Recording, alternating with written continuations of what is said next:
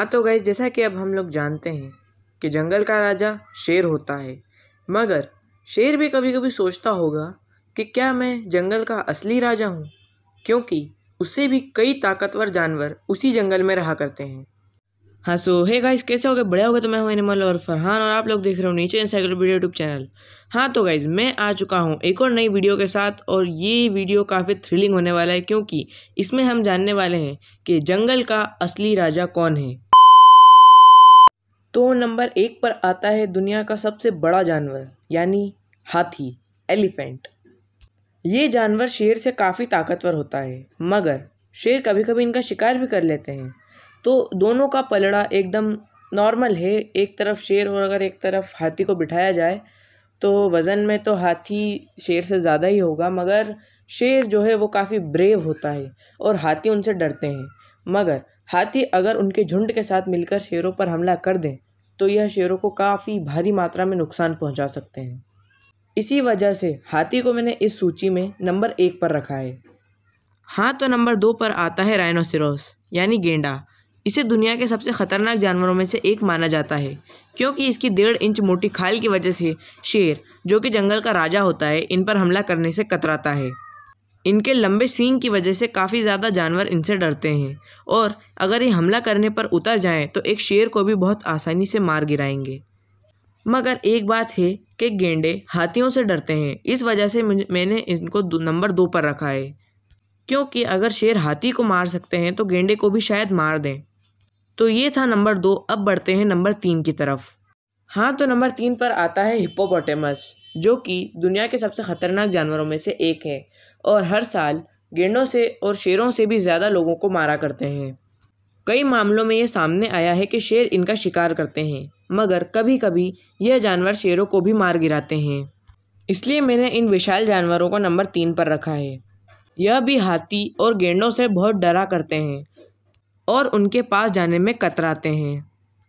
और ये जानवरों की एक ख़ास बात है, ये दिन में ना निकलकर रात को ही चरने निकलते हैं।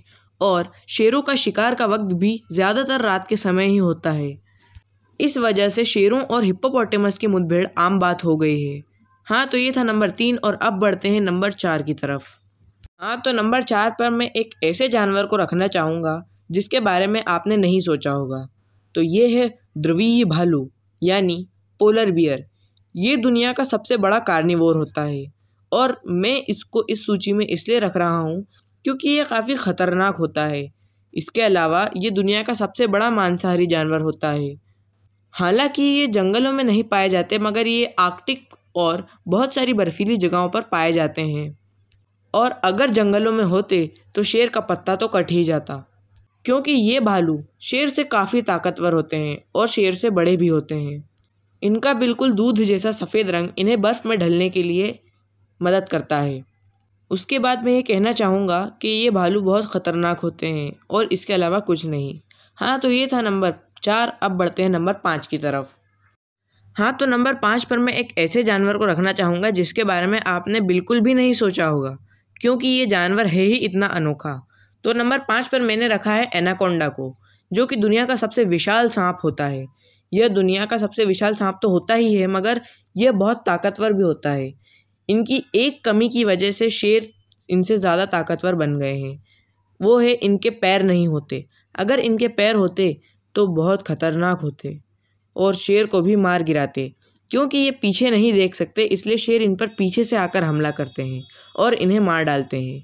वरना एनाकोंडा के लिए इतना मुश्किल नहीं है शेर को मारना। और अगर एक बार ये शेर को अपनी पकड़ में जकड़ लें तो फिर तो शेर की मौत पक्की है। तो इस नंबर पाँच के लिए एक लाइक तो बनता है। हाँ तो गाइज़ ये थे वो पाँच जानवर जिन्हें मैं शेर से भी ज़्यादा ताकतवर कहूँगा, क्योंकि ये जानवर शेर को भी मार गिरा सकते हैं। इसके अलावा और भी पाँच जानवर हैं जिनके बारे में मैंने सोच रखा है, और मैं इस वीडियो के पार्ट टू में उन्हें बताने वाला हूँ। तो थैंक यू और जैसा कि आप लोगों को मालूम है कि मेरे चैनल पर टॉप टेन वाली सीरीज़ चल रही है तो इस सीरीज़ का आनंद लेने के लिए आपको कमेंट में लिखना होगा हैशटैग सीरीज़ और आप जिन जानवरों के बारे में जानना चाहते हैं उनका नाम। तो मिलते हैं नेक्स्ट वीडियो में थैंक यू हाँ तो गाइज़ आज के लिए बस इतना ही और मिलते हैं नेक्स्ट वीडियो में। तो अगर आपने चैनल को सब्सक्राइब नहीं करा है तो प्लीज़ चैनल को सब्सक्राइब करें और मुझे थोड़ा सपोर्ट करें। Thank you